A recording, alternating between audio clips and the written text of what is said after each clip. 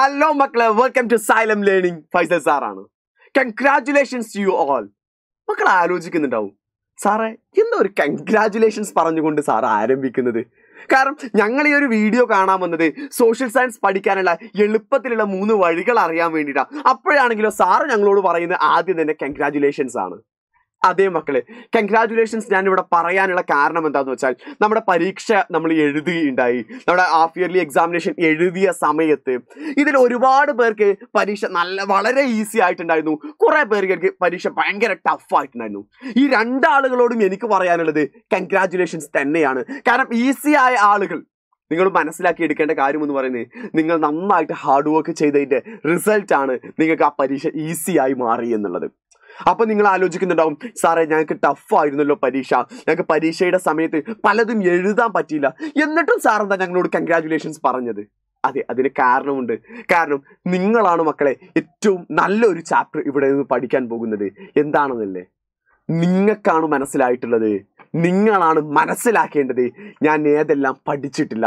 എനിക്ക് ഏതെല്ലാം ഉത്തരങ്ങൾ എഴുതാൻ കിട്ടിയിട്ടില്ല. അതുകൊണ്ട് തന്നെ ഇനി ഞാൻ ഏതൊക്കെ പഠിക്കണം എന്നുള്ളത് വ്യക്തമായി മനസ്സിലാക്കിയ മക്കൾ നിങ്ങളാണ്. അതുകൊണ്ട് തന്നെ രണ്ടുപേരും ഇനിയുള്ള സമയം എന്ന് പറയുന്നത് വളരെ എഫക്റ്റീവായിട്ട് യൂട്ടിലൈസ് ചെയ്യേണ്ടതാണ്. പരീക്ഷ സിമ്പിളായ ആളുകളാണെങ്കിലും പരീക്ഷ ടഫായ ആളുകളാണെങ്കിലും വളരെ ടൈമിന് എഫക്റ്റീവായിട്ട് യൂട്ടിലൈസ് ചെയ്യുകയാണെങ്കിൽ നിങ്ങൾക്ക് ഉറപ്പായിട്ടും സോഷ്യൽ സയൻസിൽ എ പ്ലസ് ലഭിക്കും.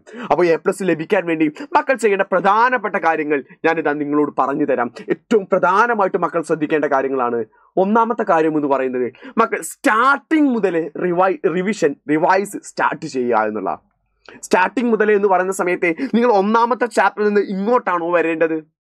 ഞാൻ പറയും അല്ല എന്നാണ് ഞാൻ പറയുന്നത്. ഒന്നാമത്തെ ചാപ്റ്ററിൽ നിങ്ങൾ ഇങ്ങോട്ടല്ല വരേണ്ടത്. നിങ്ങൾ ഇപ്പോൾ ആദ്യം ഉടനടി ചെയ്യേണ്ട കാര്യം എന്ന് പറയുന്നത് നിങ്ങൾ സെക്കൻഡ് ടൈം എക്സാമിനേഷന് വേണ്ടി പഠിച്ചു വെച്ച ഭാഗങ്ങളുണ്ട്. ഈ ഭാഗങ്ങളെല്ലാം എക്സാമിനേഷൻ കഴിഞ്ഞതോടുകൂടെ പിന്നെ നമ്മൾ തൊട്ട് നോക്കിയിട്ടില്ല എന്നുള്ളതായിരിക്കും കുറേ പേരുടെ സത്യം എന്ന് പറയുന്നത്. നിങ്ങൾ ചെയ്യേണ്ടത് അവിടുന്ന് അങ്ങോട്ടാണ് കാരണം സെക്കൻഡ് ടൈം എക്സാമിനേഷന് വേണ്ടി മക്കളെല്ലാം കഷ്ടപ്പെട്ട് ഒൻപത് ചാപ്റ്റേഴ്സുകൾ പഠിച്ച മക്കളാണ് നിങ്ങളെല്ലാവരും. അന്ന് നിങ്ങൾ ഒരുപാട് കഷ്ടപ്പെട്ടിട്ടുണ്ട്. നിങ്ങൾ ഉടനടി ചെയ്യേണ്ട കാര്യം എന്ന് പറയുന്നത് സെക്കൻഡ് ടൈം എക്സാമിനേഷന്റെ ഭാഗങ്ങൾ ആദ്യം ഒന്ന് റിവൈസ് ചെയ്യുക. കാരണം അത് റിവൈസ് ചെയ്യാൻ അതൊന്നും കൂടെ വായിച്ചെടുക്കാൻ അതൊന്നും കൂടെ പഠിച്ചെടുക്കാൻ നിങ്ങൾക്ക് ഈസിയാണ് നിങ്ങൾ തൊട്ട് മുൻപ് പഠിച്ചു വെച്ചതാ അത്. അതിനെ ജസ്റ്റ് എന്ത് ചെയ്യുക? ഒന്ന് ഓടിച്ചു നോക്കിയാൽ തന്നെ നിങ്ങളുടെ മൈൻഡിലേക്ക് വീണ്ടും റീക്യാപ്പ് ചെയ്ത് വീണ്ടും എന്ത് ചെയ്യാം പഠിച്ചെടുക്കാൻ സാധിക്കും. അതേസമയം നിങ്ങൾ ആദ്യത്തെ ചാപ്റ്ററിലേക്ക് നിങ്ങൾ പോവുകയാണെങ്കിൽ അത് പഠിക്കാൻ നിങ്ങൾക്ക് മുമ്പിൽ ഒരുപാട് സമയം ആവശ്യമായിട്ട് വരും. അത് പഠിക്കാൻ ഒരുപാട് സമയം ആവശ്യമായിട്ട് വരും. നിങ്ങൾ അത് പഠിച്ചു തീരുമ്പോഴേക്ക് നിങ്ങൾ സെക്കൻഡ് ടൈമിലേക്ക് പഠിച്ചു വെച്ച കാര്യങ്ങൾ മറന്നു പോയിട്ടുണ്ടാവും. അതുകൊണ്ട് നിങ്ങൾ ആദ്യം ചെയ്യേണ്ട കാര്യം എന്താണ്? സെക്കൻഡ് ടേം എക്സാമിനേഷന് വേണ്ടി നിങ്ങൾ പഠിച്ച ഭാഗങ്ങൾ ഒന്ന് സ്പീഡായിട്ട് എന്ത് ചെയ്യുക? ഒന്ന് ഓടിച്ച് വായിച്ചു പോവുക. അത് വായിച്ചു പോകാൻ നിങ്ങളുടെ മുമ്പിൽ ഇന്ന് ഒരുപാട് ഓപ്ഷനുകൾ ഉണ്ട്. നിങ്ങൾക്ക് തന്നെ അറിയാൻ പറ്റുന്നതാണ് നമ്മുടെ സൈലത്തിന്റെ ക്ലാസ്സുകളെല്ലാം നിങ്ങൾക്ക് അവൈലബിൾ ആണ്. ഇപ്പൊ സൈലത്തിന്റെ ചാനൽ എടുത്താൽ തന്നെ നമ്മുടെ സൈലത്തിന്റെ S L C channel S L C channel എടുത്താൽ നിങ്ങൾക്ക് സോഷ്യൽ സയൻസ് എങ്ങനെ പഠിക്കണം സോഷ്യൽ സയൻസ് വ്യക്തമായിട്ട് മനസ്സിലാക്കാൻ വേണ്ടിയിട്ട് സോഷ്യൽ സയൻസ് മാത്രമായിട്ട് എല്ലാവരും ചെയ്യുന്ന കാര്യം എന്ന് പറയുന്നത് ഒരു ദിവസം ഒരു സബ്ജക്റ്റിന് നമ്മൾ ഏറ്റവും കൂടുതൽ പ്രയോറിറ്റി കൊടുക്കുക ഏറ്റവും കൂടുതൽ ഇമ്പോർട്ടൻസ് കൊടുക്കുക എന്ന് പറയുന്ന കാര്യമാണ്. അപ്പൊ നിങ്ങൾ സോഷ്യൽ സയൻസ് പഠിക്കുന്ന ദിവസം മറ്റ് സബ്ജക്റ്റുകൾ ഇടയിൽ കയറി വരാതിരിക്കാൻ വേണ്ടിയിട്ട് ഇവിടെ സോഷ്യൽ സയൻസിന്റെ ഒരു പ്ലേലിസ്റ്റ് ഉണ്ട്. കണ്ടില്ലേ? ഈ പ്ലേലിസ്റ്റിൽ എടുത്തിട്ട് താഴേക്ക് പോകുന്ന സമയത്ത് നമ്മൾ സോഷ്യൽ സയൻസ് സെപ്പറേറ്റ് ചെയ്തുകൊണ്ട് ഇവിടെ പ്ലേലിസ്റ്റ് ക്രിയേറ്റ് ചെയ്ത് വെച്ചിട്ടുണ്ട്. മക്കളെ കണ്ടോ? Social S L C social science രണ്ടായിരത്തി ഇരുപത്തി മൂന്ന് രണ്ടായിരത്തി ഇരുപത്തിനാല് എന്നുള്ള എഴുതിയ കണ്ടോ? നിങ്ങൾ അത് എടുത്താൽ നിങ്ങൾക്ക് സോഷ്യൽ സയൻസ് മൊത്തമായിട്ട് എന്ത് ചെയ്യും? അവിടെ കിട്ടും. അതിലെ ഫസ്റ്റ് ചാപ്റ്റർ മുതൽ ഫസ്റ്റ് ചാപ്റ്റർ മുതൽ ലാസ്റ്റ് ചാപ്റ്റർ വരെയുള്ള വീഡിയോസുകളെല്ലാം തന്നെ എന്ത് ചെയ്തിട്ടുണ്ട്? നല്ല വ്യക്തമായ ഓർഡറിൽ എന്ത് ചെയ്തിട്ടുണ്ട്? ഇവിടെ അറേഞ്ച് ചെയ്തിട്ടുണ്ട്. മാത്രമല്ല അപ്പൊ നിങ്ങൾക്ക് തോന്നുകയാണ് സാറേ ഞാനിന്ന് ജിയോഗ്രഫി മാത്രമാണ് പഠിക്കുന്നത്. അല്ലെങ്കിൽ ഞാനിന്ന് ഹിസ്റ്ററി മാത്രമാണ് പഠിക്കുന്നത്. നിങ്ങൾക്ക് അതിനും ഞങ്ങളിവിടെ സൊല്യൂഷൻ തന്നിട്ടുണ്ട്. തൊട്ട് താഴേക്ക് പോയാൽ ഇവിടെ കാണാൻ പറ്റുന്നതാണ് S S L C geography അത് ജിയോഗ്രഫിയുടെ ഭാഗങ്ങൾ മാത്രമേ ഉള്ളൂ. അതേസമയം കുറച്ച് താഴേക്ക് ദാ പോയാൽ എസ് എൽ സി ഹിസ്റ്ററി അതിൽ ഹിസ്റ്ററിയുടെ ഭാഗങ്ങൾ മാത്രമേ ഉള്ളൂ. സോ ആ ഒരു പ്ലേലിസ്റ്റ് യൂസ് ചെയ്തുകൊണ്ട് മക്കൾ പഠിക്കാം. അപ്പോൾ ഈ പ്ലേലിസ്റ്റ് യൂസ് ചെയ്താലുള്ള ഗുണം എന്താണെന്ന് വെച്ചാൽ നിങ്ങൾ എന്ത് ചെയ്യില്ല ഒരു ചാപ്റ്ററിൽ നിന്ന് അല്ലെങ്കിൽ ഒരു സബ്ജക്റ്റ് പഠിക്കുമ്പോൾ മറ്റൊരു സബ്ജക്റ്റിലേക്ക് നമ്മൾ മാറാനുള്ള ചാൻസസ് വളരെ കുറവാണ്. അപ്പോൾ ആ ഒരു ടൈം യൂസ് ചെയ്തുകൊണ്ട് എന്ത് ചെയ്യാം നിങ്ങൾക്ക് ഡൗട്ടുകൾ ഉള്ളത് അതുപോലെ തന്നെ നമ്മുടെ മാരത്തോൺ സെഷനുകൾ കൂടാതെ തന്നെ നമ്മൾ ചാപ്റ്റേഴ്സുകൾ റാപ്പിഡ് റിവിഷനുകൾ എടുത്തത് അതാണ് നിങ്ങൾ ആദ്യം തന്നെ കാണേണ്ടത്. അത് കാണേണ്ടത് എന്തിനാന്ന് വെച്ചാൽ നിങ്ങൾ പഠിച്ചു വെച്ച ഭാഗങ്ങൾ ഒന്നും കൂടെ റീതിങ്ക് ചെയ്തെടുത്താൽ ഒന്നും കൂടെ നമ്മൾ ഓർത്തെടുക്കാൻ വേണ്ടിയിട്ടാണ് എന്നിട്ട് നമ്മൾ ഓരോ ചാപ്റ്റേഴ്സുകളും നമ്മൾ പഠിച്ചെടുത്തു. പിന്നെ നമ്മുടെ രണ്ടാമതായിട്ട് ചെയ്യേണ്ട കാര്യം എന്ന് പറയുന്നത് നമ്മുടെ പ്രീവിയസ് ഇയർ ക്വസ്റ്റ്യൻ പേപ്പേഴ്സ് നന്നായിട്ട് വർക്കൗട്ട് ചെയ്യുക. എന്താ ഞാൻ പറഞ്ഞ വാക്ക് എന്താണ്? നന്നായിട്ട് വായിച്ചെടുക്കുക എന്നാണോ പറഞ്ഞത്? നന്നായിട്ട് പഠിക്കുകയാണെന്നോ പറഞ്ഞത്? അല്ല നന്നായിട്ട് എന്ത് ചെയ്യണം? പ്രീവിയസ് ഇയർ ക്വസ്റ്റ്യൻ പേപ്പേഴ്സ് എന്ത് ചെയ്യണം?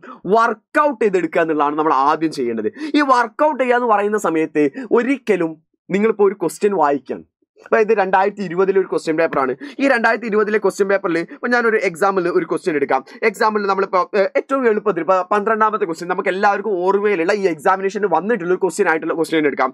Explain the Champaran and Kheda Satyagraha involve by Gandhiji Gandhiji ഇടപെട്ട ചമ്പാരൻ കേഡയിലെ സമരങ്ങളെക്കുറിച്ച് വിശദീകരിക്കുക. ഇത് വായിക്കുന്ന സമയത്ത് ആ ഇത് ഞാൻ കേട്ടിട്ടുണ്ട്. അപ്പോൾ കുഴപ്പമില്ല എളുപ്പമായിരിക്കും അല്ലേ അങ്ങനെ പറഞ്ഞു ഒഴിവാക്കാനല്ല ഞാൻ നിങ്ങളോട് പറഞ്ഞത്.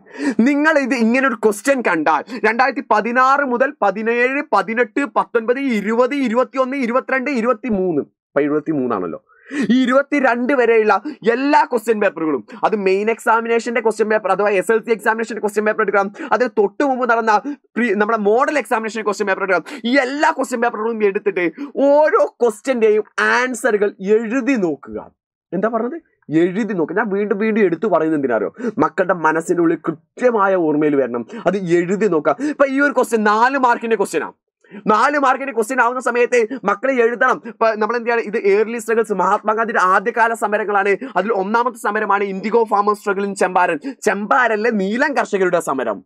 ഈ സമരം നടക്കാനുള്ള കാരണങ്ങൾ ടാക്സ് ആയിരുന്നു. സമരത്തിൽ മഹാത്മാഗാന്ധി അഡോപ്റ്റ് ചെയ്ത മെത്തേഡ് സമരത്തിന്റെ രീതി എന്ന് പറയുന്നത് സത്യാഗ്രഹമായിരുന്നു.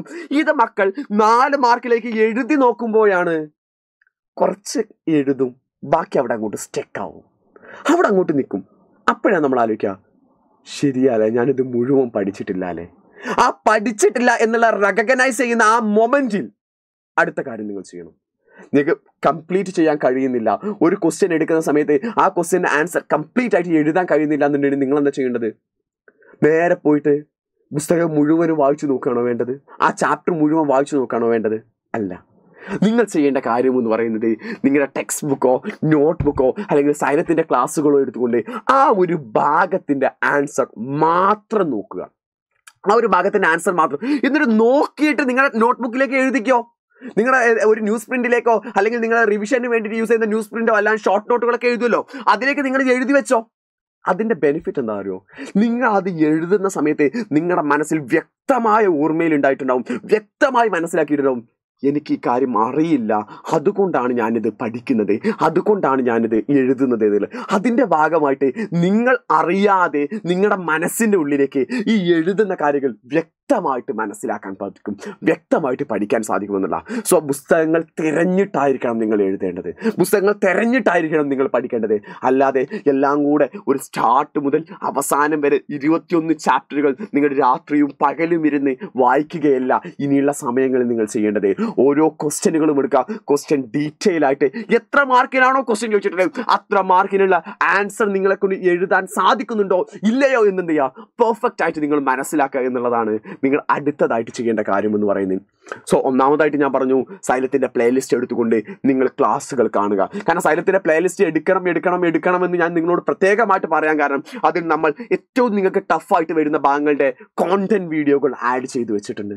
കൂടാതെ തന്നെ നിങ്ങൾക്ക് ഒരു ചാപ്റ്റർ നമ്മൾ സാധാരണ പഠിച്ചു പോകുക ഒരു ചാപ്റ്റർ മൂന്നും നാലും അഞ്ചും മണിക്കൂർ വെച്ചിട്ടാണെന്നുണ്ടെങ്കിൽ നമ്മൾ നിങ്ങൾക്ക് പ്രിസൈസ് ആയിട്ടായി തരുന്നത്. ഒരു മണിക്കൂർ കൊണ്ട് ഒന്നര മണിക്കൂർ കൊണ്ട് മാക്സിമം രണ്ട് മണിക്കൂറിന്റെ ഉള്ളിൽ നിങ്ങൾക്ക് ഒതുക്കിയിട്ടാണ് ചാപ്റ്റർ തരുന്നത്. എന്ന് വെച്ചാൽ കുറഞ്ഞ സമയത്തിന്റെ ഉള്ളിൽ മാക്സിമം നിങ്ങൾക്ക് എന്ത് പറ്റും? കവർ ചെയ്തു പോകാൻ പറ്റും. രണ്ടാമതായിട്ട് നിങ്ങൾ ചെയ്യേണ്ട കാര്യം ഞാൻ നിങ്ങളോട് പറഞ്ഞു. ക്വസ്റ്റ്യൻ പേപ്പറുകൾ എടുക്കുക. രണ്ടായിരത്തി പതിനാറ് മുതലുള്ള മോഡൽ എക്സാമിനേഷന്റെയും എസ് എൽ സി എക്സാമിനേഷന്റെയും ക്വസ്റ്റ്യൻ പേപ്പറുകൾ എടുക്കുക. അത് ഓരോന്നും എന്ത് ചെയ്യുക?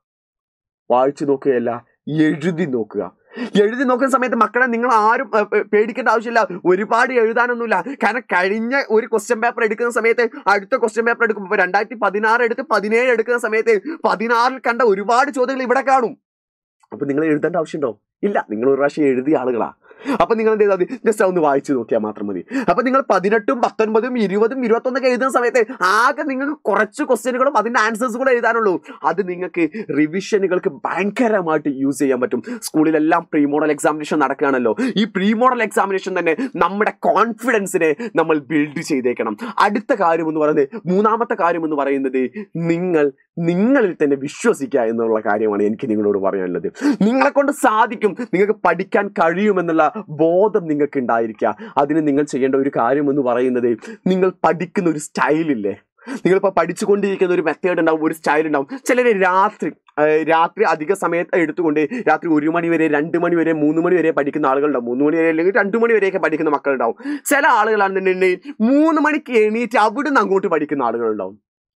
ഇനിയുള്ള ദിവസങ്ങൾ എനിക്ക് നിങ്ങളോട് റിക്വസ്റ്റ് ആയിട്ട് പറയാനുള്ളതാണ് ഇനിയുള്ള ദിവസങ്ങൾ നിങ്ങൾ ആ ഒരു ഫോർമാറ്റ് തെറ്റിക്കരുത് എന്നുള്ളതാണ്. നിങ്ങൾ രാത്രി പഠിക്കുന്ന ആളുകളാണെങ്കിൽ രാത്രി തന്നെ പഠിച്ചോ. ഇനി അത് മോർണിംഗിലേക്ക് മാറ്റണ്ട. മാറ്റാനുള്ള സമയം നമ്മുടെ മുമ്പിലില്ല എന്നുള്ളതാണ്.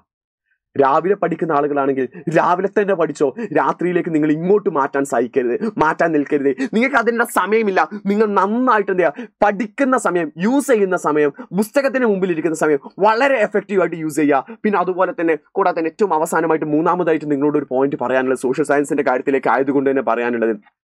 സയൻസ് നമുക്കറിയാം വലിയൊരു സബ്ജക്റ്റാണ് ഞാൻ സത്യസന്ധമായിട്ട് പറയാം. വലിയൊരു സബ്ജക്റ്റാണ് ഈ വലിയൊരു സബ്ജക്റ്റ് പഠിക്കാൻ ഏറ്റവും എളുപ്പത്തിൽ ഞാൻ എന്റെ എല്ലാ മക്കളോടും പറഞ്ഞു കൊടുക്കുന്ന കാര്യമാണ്. ഞാൻ നിങ്ങളോടും പറഞ്ഞിട്ടുണ്ടായിരുന്നു. മുൻപത്തെ വീഡിയോകൾ നിങ്ങൾ നോക്കിയാൽ മതി. മാക്സിമം ഷോർട്ട് നോട്ടുകൾ എഴുതാൻ പഠിക്കുക. ഷോർട്ട് നോട്ടുകൾ എന്ന് പറയുന്ന സമയത്തെ ഒരു ചാപ്റ്റർ മുഴുവനായിട്ട് എഴുതുന്ന ഷോർട്ട് നോട്ടല്ല നിങ്ങൾക്ക് മനസ്സിലാവുന്ന ഭാഷയിൽ നിങ്ങൾക്ക് മനസ്സിലാവുന്ന രീതിയിൽ ചെറിയ ചെറിയ വാക്കുകൾ എഴുതിക്കൊണ്ട്. ഇപ്പൊ എക്സാമ്പിൾ പറയാൻ പറയാന്നുണ്ടെങ്കിൽ നമുക്ക് മഹാത്മാഗാന്ധി തന്നെ എടുക്കാം. അപ്പൊ മഹാത്മാഗാന്ധിയുടെ ഏർലി സ്ട്രഗിൾസിന്റെ റിസൾട്ടുകളാണ് ദ നാഷണൽ മൂവ്മെന്റ് കൺഫറൻസ് ഇപ്പോൾ എക്സാമ്പിളിന് ഞാൻ ഇവിടെ ഇവിടെ എഴുതി തരാം കേട്ടോ എക്സാമ്പിൾ ആയിട്ട് ഇപ്പൊ മഹാത്മാഗാന്ധിയുടെ നാഷണൽ മൂവ്മെന്റ്സിന്റെ അഥവാ ഏർലി സ്ട്രഗിൾസ് ആദ്യകാല സമരങ്ങളുടെ ഫലങ്ങളിലായിരുന്നു നഗരങ്ങളിൽ മാത്രം ഉണ്ടായിരുന്ന ദേശീയ പ്രസ്ഥാനം ഗ്രാമങ്ങളിലേക്ക് എത്തിച്ചേർന്നു. അതിന്റെ ഷോർട്ട് ഇങ്ങനെ എഴുതിയാൽ മതി. നഗരം ഒരു ഹൈഫൺ ഗ്രാമം എന്ന് എഴുതിയാൽ പോരെ. ഇംഗ്ലീഷിലാണെന്നുണ്ടെങ്കിൽ നമ്മൾ എന്ത് എഴുതിയാൽ മതി? നഗരങ്ങളിൽ മാത്രം ഉണ്ടായിരുന്ന ദേശീയ പ്രസ്ഥാനം ഗ്രാമങ്ങളിലേക്ക് എത്തിച്ചേർന്നു എന്നല്ലേ the national movement come from cities to villagers എന്നാ പറയാ. സിറ്റീസ് ടു വില്ലേജേഴ്സ് ഇങ്ങനെ നമ്മൾ ഓരോന്നിനെയും ചെറിയ രീതിയിൽ മാക്സിമം പ്രിസൈസ് ചെയ്ത് ഷോർട്ട് നോട്ടുകൾ എഴുതുക. ഷോർട്ട് നോട്ട് എഴുതേണ്ടത് നിങ്ങളുടെ ടെക്സ്റ്റ് ബുക്ക് നോട്ട് ബുക്കിലോ ടെക്സ്റ്റ് ബുക്കിലോ അല്ല ഷോർട്ട് നോട്ടുകൾ നിങ്ങൾ എഴുതേണ്ടത്. അത് എഴുതേണ്ട സ്ഥലം എന്ന് പറയുന്നത് അതിനു വേണ്ടി സെപ്പറേറ്റ് ഒരു പേപ്പർ എടുത്തുകൊണ്ട് ആ പേപ്പറിലായിരിക്കണം എന്റെ മക്കൾ എന്ത് ചെയ്തിട്ട് ഷോർട്ട് നോട്ടുകൾ എഴുതേണ്ടത്. സെപ്പറേറ്റ് ഒരു ന്യൂസ് പ്രിന്റോ എ ഫോറോ എടുക്കുക. പിൻ മടക്കിയിട്ട് പിൻ ചെയ്യുക. എന്നിട്ട് മാക്സിമം പ്രിസൈസ് ആയിട്ട് മാക്സിമം ചെറുതാക്കിയിട്ട് നിങ്ങൾ എഴുതുക. നിങ്ങൾ ഇങ്ങനെ എഴുതാൻ തയ്യാറാണെങ്കിൽ ഇങ്ങനെ പഠിക്കാൻ തയ്യാറാണെങ്കിൽ ശരീരത്തിന്റെ ക്ലാസ്സുകൾ കേൾക്കാൻ തയ്യാറാണെന്നുണ്ടെങ്കിൽ നമ്മൾ പറഞ്ഞ പോലെ പ്രീവിയസ് ഇയർ ക്വസ്റ്റ്യൻ പേപ്പർ നിങ്ങൾ വർക്കൗട്ട് ചെയ്യാൻ തയ്യാറാണെങ്കിൽ ഞാൻ ഉറപ്പ് പറയാം മക്കളെ നിങ്ങൾ ഈ വാക്കുകൾ എഴുതി വെച്ചോ നിങ്ങൾക്ക് ഷുവറായിട്ടും എ പ്ലസ് ലഭിച്ചിരിക്കും. ഇത്ര കാര്യങ്ങൾ മാത്രം നിങ്ങൾ ചെയ്താൽ മതി. നിങ്ങളുടെ മുമ്പിലുള്ള ദിവസങ്ങൾ എന്ന് പറയുന്നത് വളരെ വളരെ വളരെ എണ്ണപ്പെട്ട ദിവസങ്ങളാണ്. മക്കൾ അടിപൊളിയായിട്ട് പഠിക്കുക. സൈലം നിങ്ങളുടെ കൂടെയുണ്ട്. ഞങ്ങൾ നിങ്ങളുടെ കൂടെയുണ്ട്. എല്ലാ സമയത്തും ഏത് സമയത്തും നിങ്ങൾക്ക് എന്ത് സഹായവുമായിട്ടും ഞങ്ങൾ ഇവിടെ ഉണ്ടായിരിക്കും. ഓരോ ഓരോ കൃത്യമായ അപ്ഡേറ്റുകൾ നിങ്ങൾക്ക് തരേണ്ട മോട്ടിവേഷന്റെ സമയത്തെ മോട്ടിവേഷനുകൾ നിങ്ങളുടെ ചില സമയത്ത് പേടിപ്പിക്കേണ്ട സമയങ്ങളുണ്ട്.